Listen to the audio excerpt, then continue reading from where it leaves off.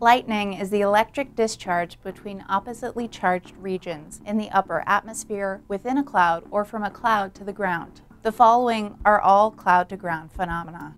Fork lightning is the most well-known type, occurring as a result of negative charge buildup in the bottom of the cloud and positive charge buildup at the ground. As the positive charge at the ground collects in high enough concentration, it sends out small bolts of ground-to-air lightning called streamers. If the streamers can make contact with the negative charge from the cloud, a wave of electricity propagates up toward the cloud as a bright pulse.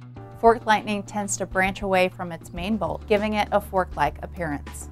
Zigzag lightning is similar to fork lightning. Both occur from the same circumstance, but instead of a single main bolt, this type gets its name from the way it jumps from one pocket of charge to a nearby pocket of charge on its way toward the ground.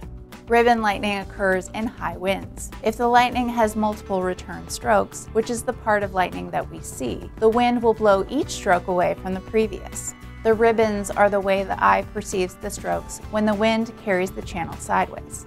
Instead of a form itself, bead lightning is the decaying stage of every strike.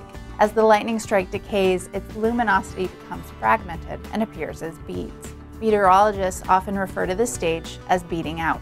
Bolts from the blue originate in the anvil cloud of the storm and are considered one of the most dangerous forms. This lightning starts at the back of a storm, travels a large distance away from the storm in clear air, and then intercepts the ground up to 25 miles away.